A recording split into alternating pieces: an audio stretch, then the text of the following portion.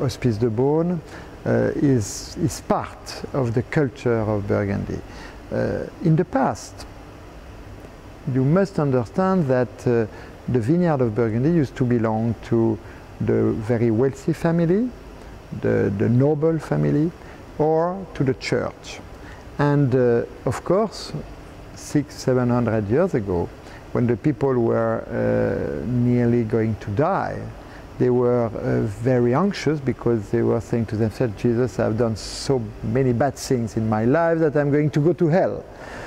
Before dying, let's do something good uh, so that God is going to be very nice with me. Boom, let's offer something.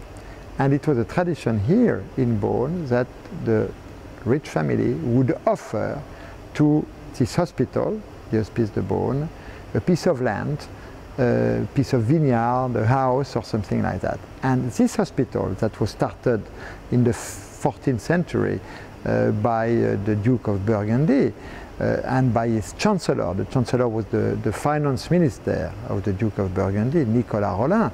Uh, became very, very wealthy because they, he, he, this hospital had a lot of properties.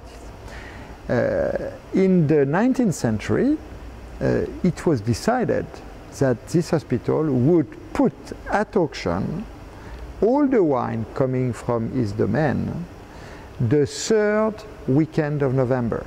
So it's a tradition since one, a little more than 150 years that every third Sunday of November, the Hospices de Beaune sell at auction all their wines uh, to the the, the negociant company that will buy the wine in cask, age them and bottle them under the Hospices de Beaune name.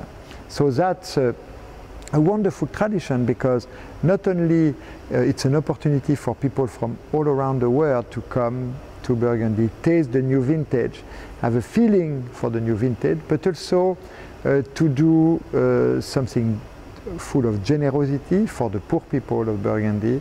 Uh, that was the idea of this charity when it started uh, a little more than 500 years ago.